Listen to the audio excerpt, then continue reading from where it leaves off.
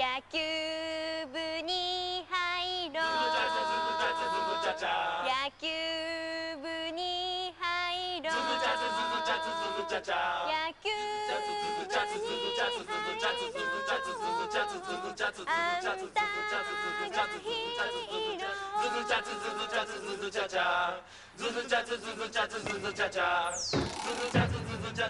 野球部に入ろう。SSK ぞここからやるときやるね煮込みラーメンが効いたみたいね。はい。長谷園の煮込みラーメン美味しいでしょ？はい。野菜がたっぷりだからねヘルシーなのよ。しっかり食べて頑張ってね。はい。今度おいに来てね。任しときやだ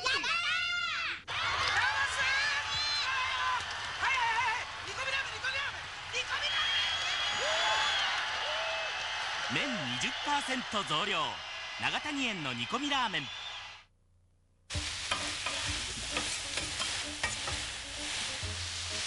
ぼちぼち行きますよ。はーい。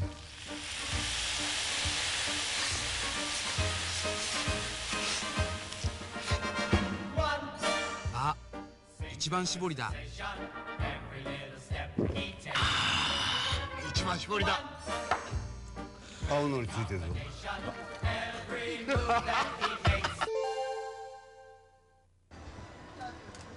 えー今日の日本シリーズ巨人対西武第1戦はハイビジョンの試験放送も行っています。16対9の横に長いワイド画面で映像もより鮮明になっています。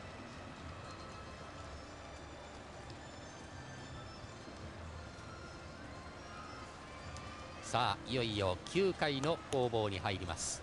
なんと11対0西武ライオンズの攻撃陣の大爆発です。ジャイアンツのヒットはわずかに3本。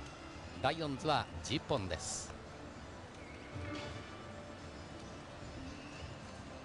西武森監督は一番嬉しいのは実のあるのは何ですかと聞きますと何といっても5年連続山本さん全チームに勝ち越したと。これはもっと評価して選手を褒めてあげてくださいと。そうですやね。はり大したもんですね。そまあそれだけ力があるということになりますよねえー大英は今年11勝15敗という西武戦対戦成績でした。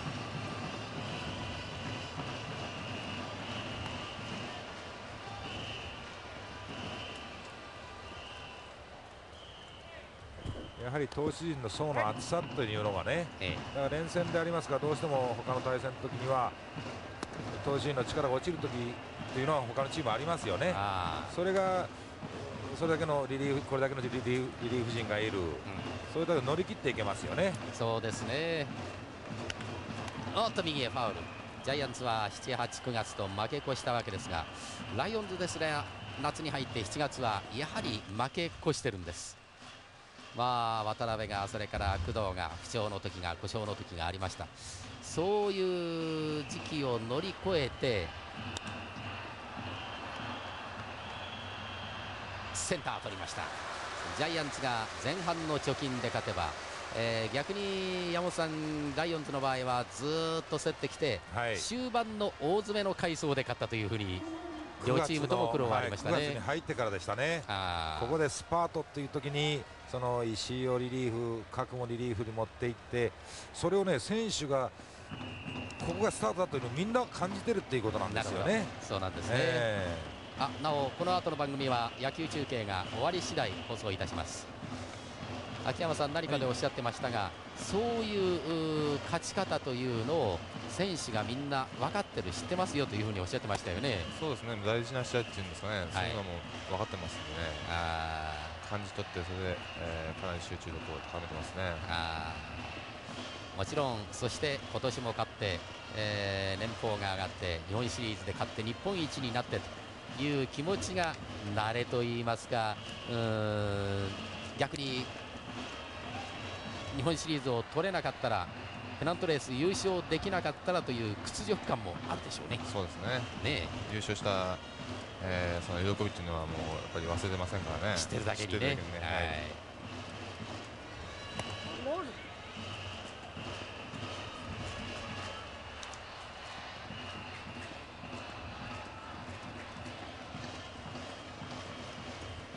試合には今日は出番はありません。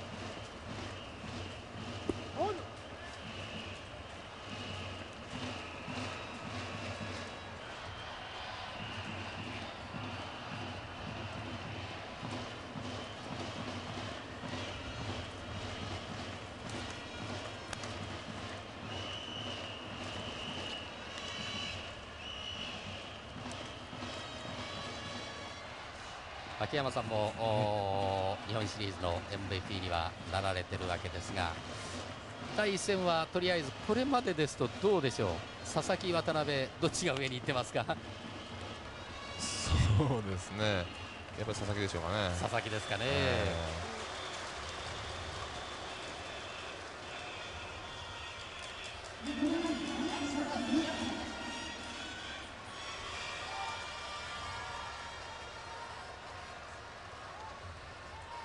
佐々木ファーストゴロはツーアウト。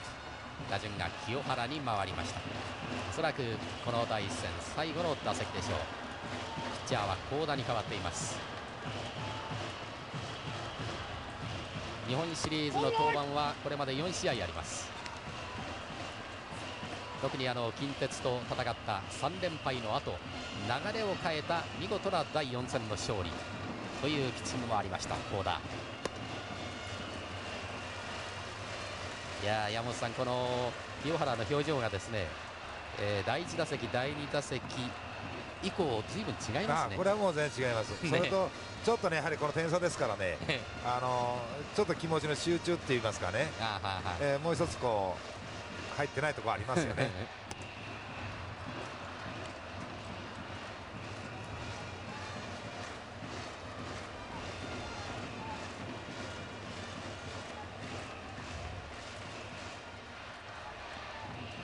ああ速いボールできましたライオンズの方はこの回は三者凡退ですさあ最後のイニングになるんでしょうか。松井からです。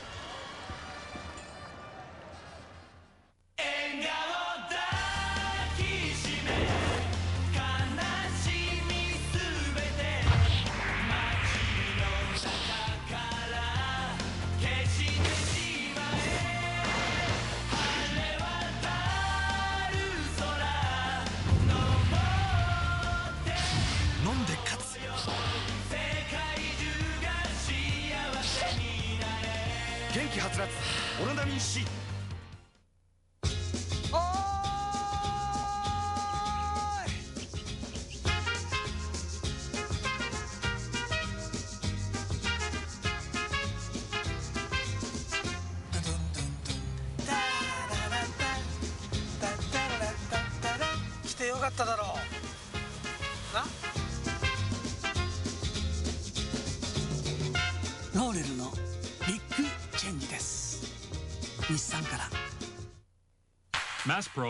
ロナビゲーターコースを全自動で設定します。電話番号で目的地を選ぶこともできます。次を右です。次を斜め左です。コード目的地までの道路距離も出ます。CDG や CDI のプレイヤーとしても使えます。コースを外れました。マス先発はこの渡辺久信でした。工藤ではありませんでした。ジャイアンツは桑田。渡辺が勝ちました。桑田立ち上がり2回3回打たれました。そして試合はついに9回まで来ました。11対0渡辺橋本塩崎杉山というライオンズのリレーです。さてこの回は松井から始まりますがえー今年もご好評いただきました松井のホームランカード。今シーズンは20枚のカードが生まれました。この日本シリーズでもスペシャルカードとして発行いたします。この日本シリーズで出たスペシャルカードは10月8日に打ちました31号カードとともに10月分としてまとめてお分けいたします。往復はがきにあなたの住所氏名年齢電話番号を明記の上119の70郵便番号119の70東京中央郵便局日本テレビ。松井のホームランカード10月分係までお送りください。応募要領をその時に返送いたします。10月分の締め切りは11月1日の消印まで有効です。今日の松井は1回目渡辺久信。ツーアウトランナーなしという場面でよく粘ってフォアボール。2打席目にライトへのツーベースが出ました。3打席目は三振。さあピッチャーは代わって香取。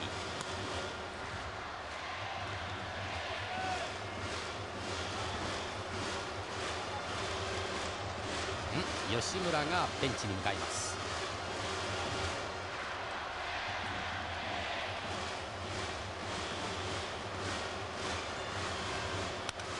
左へ左右間破った松井に安打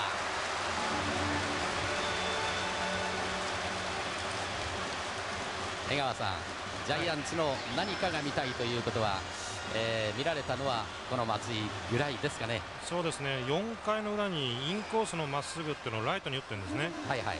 あれかなり本人にとっては収穫だと思いますね。おですから彼一人でしょうかね今日はね。そうですかね、えあの4回の裏のヒットはボールはやはり上がらないでもしょうがない攻め方でしたか、まあ本当は上げたい上げていきたいんですが、ええ。インサイドの厳しいまっすぐでしたからあーはーはー。普段よりもうまく打ってるんですよね、うん。ですから状態はいいと見ていいんじゃないでしょうかね。なるほど。山本さんそして今度は左へ。そうですね。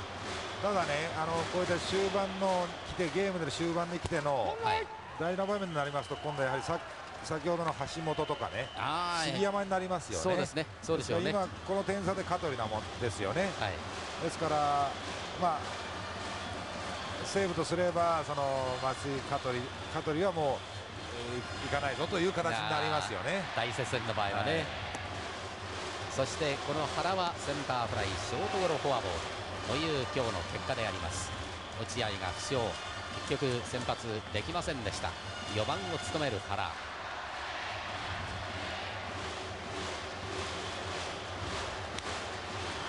サードゴロセカンド送球一塁へは投げられません。フォースアウト。結局第一戦は原にヒットはありませんでした。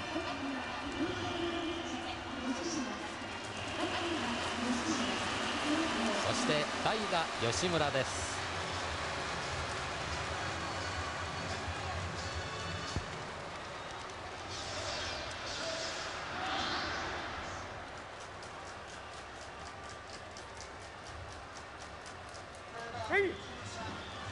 シリーズの出場はこれで5回目になります吉村。9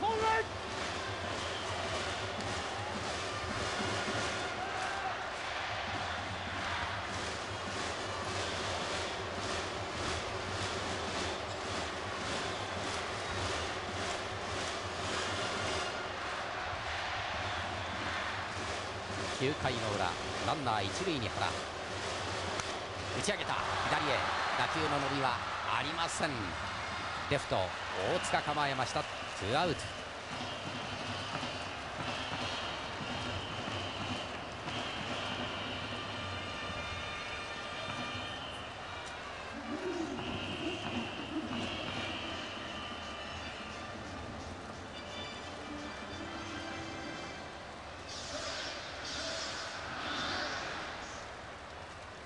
第一戦落合出番なし。ご覧のムードのジャイアンツベンチ。11対0ツーアウトランナー一塁。9回の裏バッターボックスは古藤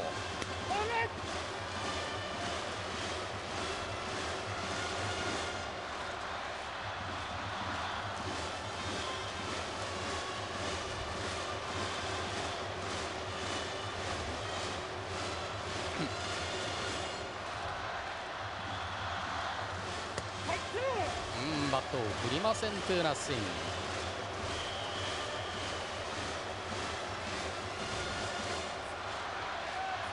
ライオンズの投手陣は防御率失点の数自責点。それから完投の数。ホームランを打たれた本数いずれも昨年に比べるとかなり悪いんです。ただ日本シリーズへの調整は見事にできました。ジャイアンツ打線を相手にまだ点を取られていません。この香取もシーズン中は防御率3.40ただ7勝3敗。セーブポイントは結局12と頑張りました。打ち上げた。内野フライ。ピッチャーの香取が香取が手を挙げて取りました。日本シリーズ第1戦は西武ライオンズの大勝であります。11対011対0ジャイアンツ無残無残な負け方であります。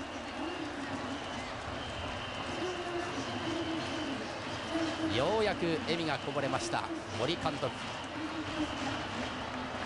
ジャイアンツ打線のヒットはわずかに4本。そのうちの2本が松井。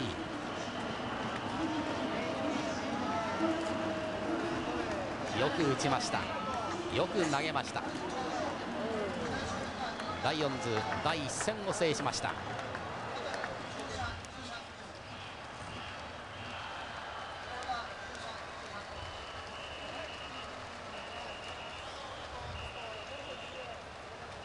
ジャイアンツベンチは早々と選手が姿を消します。さあ森監督です。ん？ヒーロー。お森監督です。放送席、えー、第一戦勝ちました西武ライオンズの森正明監督です。おめでとうございます。ありがとうございました。まず今日の初戦に臨むにあたってどんなその選手への指示いろいろ細かくあったんでしょうね。いや特別細かいことはないんですけどね。ただ平素我々がやってきた野球をまあ、あ日本シリーズという大きな舞台でしかもジャイアンツという大きなチームを相手に、まあ、思う存分やろうじゃないかと。もう勝ち負けはどうでもいいと。とにかくある意味においては楽しみながら思う存分やりましょうと。もうそれ以外は何も言いませんけどね、ええ。えー、戦ってみてその第一戦の印象としてはいかがでしたか？うんまああのうちの選手がね本当にあの誰がヒーローということじゃなくしてまあ、全員で勝ち取った勝利なんですけれども、まあ、みんなが非常にリラックスして燃えてましたからね、まあ、ただ、あの桑田というすごいピッチャーをなんとかその清原がね重い空気をその振り払ってくれるホームランでやっぱりこの楽な気持ちにさせてくれたというかな、うん、ですから、まあ、佐々木が打ち清原が打ちそれからまた下位で打ちと。まあ、うちにとってはこれほどのゲームはない、まあ、そういう感じですね、だからジャイアンツがどうだということは、まあ、戦いですから、1試合ではどうこう言えませんし、まあ明日から得てしてこういう点を取ったゲームの後というのは、あ日本シリーズの場合、行かれてますからね。ええさて今日の先発の渡辺久信投手、これはあのいつお決めになったんですか？えー、っとね、もう10日くらい前ですね。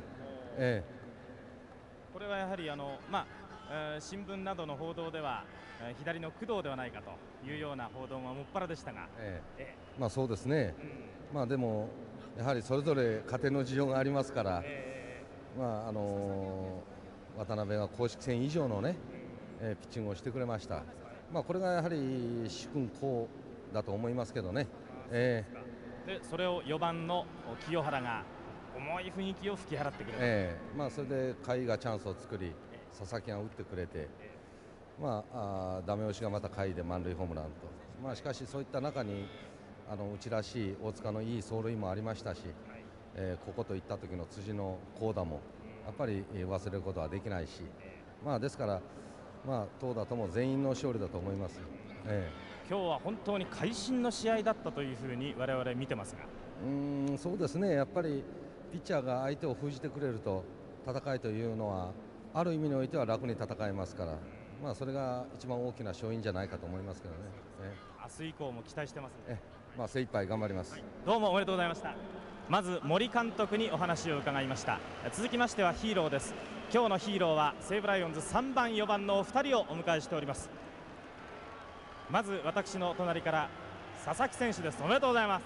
どうもありがとうございます、えー、まず初めての日本シリーズの印象をちょっと伺いましょうか。もう緊張しっぱなしでもう自分が何やってるか分からなかったんですけどね、ええ、あのいきなりチャンスが来たんでちょっとビビってました。そうですか、はい、今日はあの試合前はどんな気持ちというのはどんな気持ちだったですか？そうですね。もうプレッシャーばっかりでね本当に思うように体動かなかったしうん。まあ、周りの人がなんとかねリラックスさせてくれたんでよかったです。特にどの辺の選手がいろいろ言ってくれました？うんやっぱり清原君とかがねあの笑わせてくれたんでねいろいろ。だからよかったです。西武のその雰囲気この日本シリーズでの西武ライオンズのチームの中どんなもんでした？そうですね。あんまり強いっていうイメージがねすごいんでね。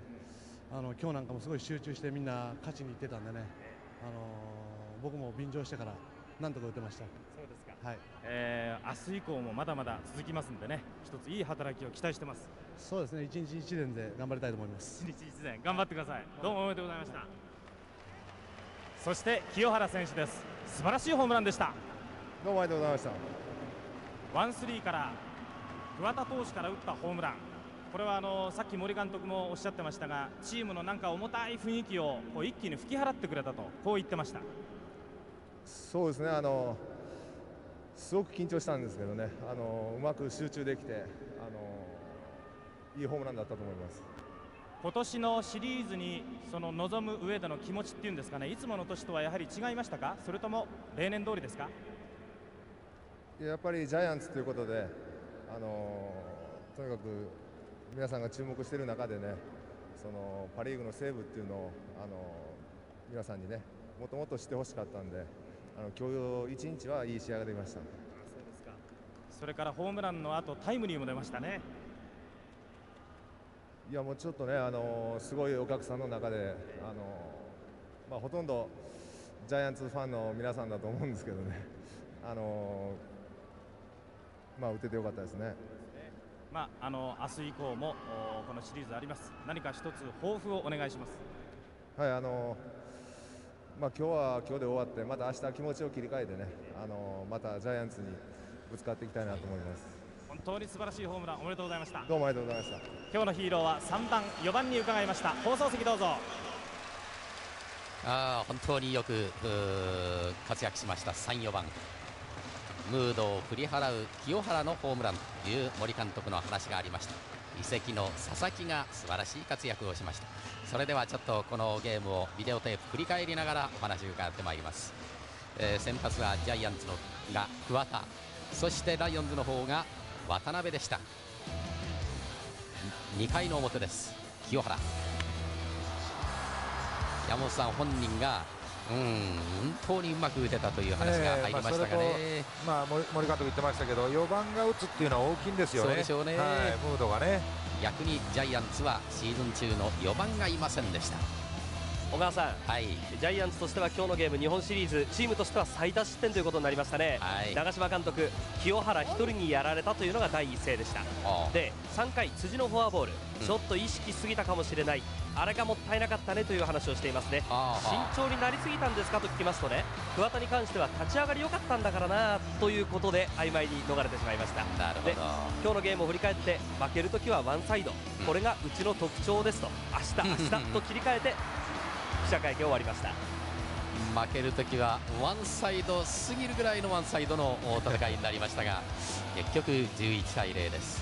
小川さん、はい、ライオンズ先発した渡辺久信投手ですがね、はいはい、やはり先発を言われたのがいつものシリーズより早かったんで、うん、当日まで気持ちが大丈夫かなという不安はあったというんですね。ただこれに向けての調整の中で、はい、シーズンの後半が全然だめだったけれども調子が上がってきたのが自分で分かったということなんですね。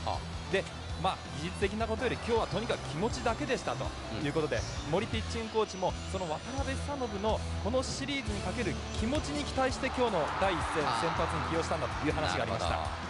えー、ペナントレー終了直後にあの言い渡したということでしたよね、村山さん。あの本人ははっきり言わなかったんですが、どうやらあの合宿に入る直前に言われたようなんですね。なるほど、本当にうまく調整ができました。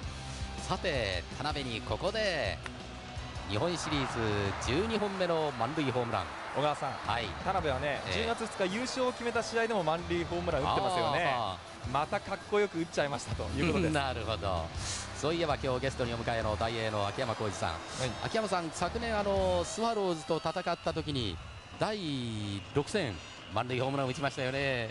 そうですね。ねえ、はい、えー、つまり満塁ホームランというのはあれ以来ということになるわけです。田辺に出ました結局11対0というゲームに終わったわけですが、えー、秋山さん、はい、今日のゲーム振り返ってこうしてみると西武の良さばかりが目立つ戦いになったわけですが。そうですね。本当に西武のいいところばっかり出ましたね。ねえ。ー、しかもシーズン中戦ってきた内容よりもいいでしょ？いいですね。だからもういいとこばっかりですよ。あジャイアンツの、ね、いいところを見たいですね。なるほど、えー、杉山などは秋山さんはシーズン中の方がもっと良かったと抑えてあのピッチングに抑えられたんですから山本さん、これは打線相当苦しいですね、うん、そうですね。もうとにかくジャイアンツの場合は何回も言いますけどやはり投手陣が抑えるということがまず一番で、はい、それからもう打撃陣が早くね、うん、早く自分のバッティングするということではないですかね。えー、ということはどうですか？この間の調整といいますかたまたま相手が良かったんでしょうか？投手がピッチャーが。まあ、結局ねあの意識をしすぎたというのが一つありますよね、あの桑田の意識、はい、だからやはり相手投手陣もこれだけの層が厚いということで、うん、もう一度ね今日のことは忘れて、まだあと、えー、4勝っていうのが一つの目標ですからね。さて、えー、江川さん、はい、立ち上がりは桑田良かったんだけどという長嶋監督の話がありました。これで第2戦どう読みますか？いやピッチングはね、悪くないし3本柱の力は僕はあると思いますよ、ただ足をあんまり気にすると自分のピッチングができないんでね、そうなってくるとちょっと西武のペースになっちゃうかなと。そういうのがなんか見えた第一戦だったんですけどね。なるほど、はい、えー、なお巨人日本一は17回あるんですが第1戦を落として日本一というのは7回非常に少ないんです、えー、最近の日本一は3回とも第1戦は負けてはいます。今日はご覧の3人でお伝えしてまいりました。秋山さんまた明日もよろしくお願いいたします。ありがとうございました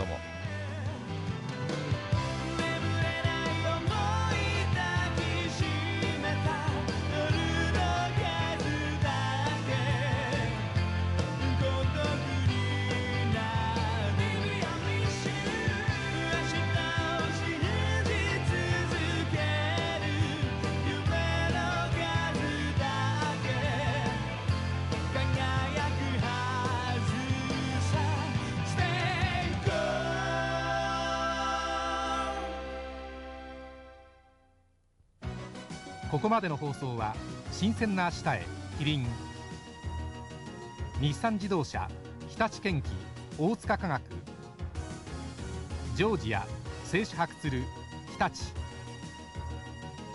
大砲薬品スポーツ SSKJCB カードとご覧のスポンサーの提供でお送りしました。